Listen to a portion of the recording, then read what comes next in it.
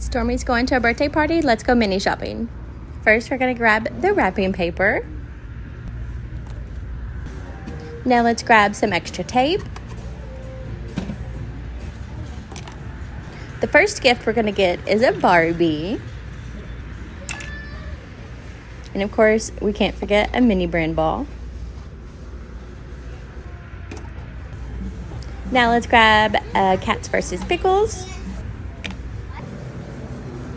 And Stormy wants to get her a necklace. And last, we're going to grab a new backpack. What should we shop for next?